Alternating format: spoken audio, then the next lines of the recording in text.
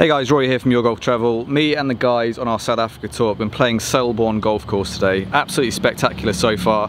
Made our way around to the 8th green and we spotted this tee in the distance. We drove past the sign for it earlier, not knowing what it is. Sixth hole, this is the pulpit tee. If I take you down to the edge of the tee, you will see an unbelievable drop in elevation down to this par 3 green. So we thought the only sensible thing to do was to make our way back up here and have a little nearest the pin competition.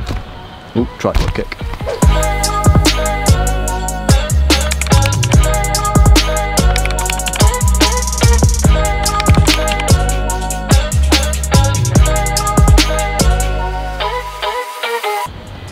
Right, Mr. Tidman, 142 yards, Yep. obviously playing far less than that. We're about, I don't know, 100 feet above the level of the 100 green. feet up, straight down there. So what we got?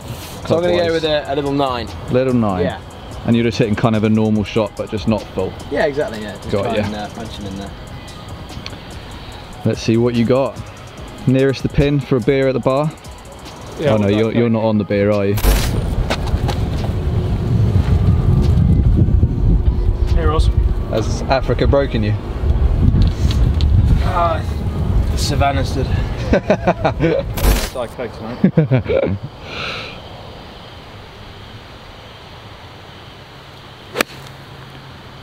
It's a decent strike, is it?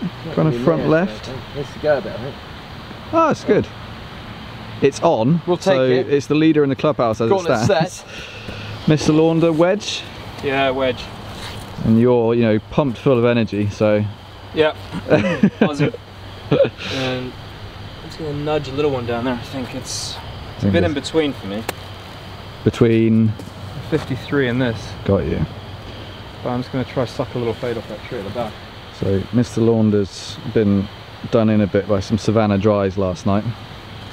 Fantastic hospitality from um, San Lemire. Yep. It was cracking. Just normal shot, but just a little bit off full power. A little bit off.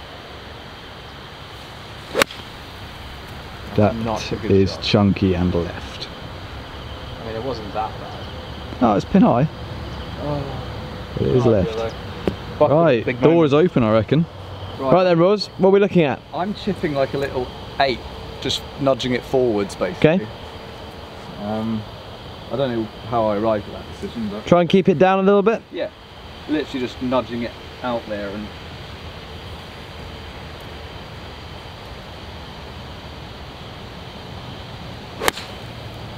That is long. You reckon? What's on the next hole? That is long, long. I'll take the beers, thanks. I mean, does, does dance Yeah, that's on the green, right up only? That's in There. that's in the hazard past the green. There's a long way out, off Right, there. Well, I reckon it's a pace off between your two, so let's go down and see who's won.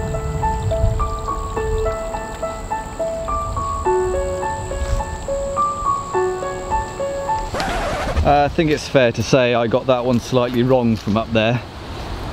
Um, but this is going to be close. I reckon we're pacing this out.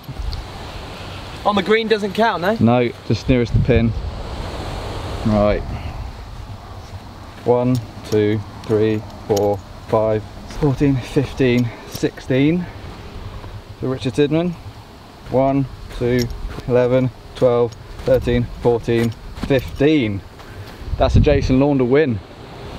That's half a step closer. Well done, You sir. You called it chunky left, didn't you? yeah, I did. Thanks, Ross. Mine was flushed long into the hazard. Not on the green, but well done. Thanks, Tidders. Not bitter, are you? well done, guys. Well done, mate. Um, I think in general that kind of just sums up what Selborne's all about, doesn't it? The elevation change is what makes this course as enjoyable as it is. Yeah. And obviously the scenery as well. We're pretty much in the middle of the jungle. The noises that you pointed out on the tee, just so obvious that we're in basically just the heart of Africa and wow, what a golf hole. Absolute must play. Yeah. Down this coastline, it is a must Yeah. play, and you know you're not far from Durban city centre. Yeah. So if you're staying down there, it's uh, worth the day out It's to come down here and, up for a and really experience it. Well, we started in Leopard Creek, which Yeah. is obviously well, we talked about is this a hidden gem when we arrived, and you mm. know a lot of people from the UK or Europe may not have heard of this golf course, but they will have heard of Leopard Creek. Yeah. And I'm going to say Leopard Creek's in a different bracket for me, but this is easily my second favourite course of the tour so far. Agreed. And unfortunately, I think we only have time for a few more holes because, as I said, the sun does go down at about half five. But yeah, what a golf hole. If you are here at Selborne and you're allowed, get up onto the pulpit tee and give this hole a crack. Thanks for watching.